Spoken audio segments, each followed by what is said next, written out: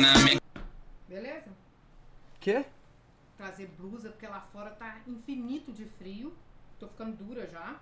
Aham, Tá com fome? tô não. E quando tiver, fome de quê? Pra eu já me preparar pra te dar o melhor lanchinho. Tipo assim, mãe, normalmente mandioca com aquela manteiga e mussarela.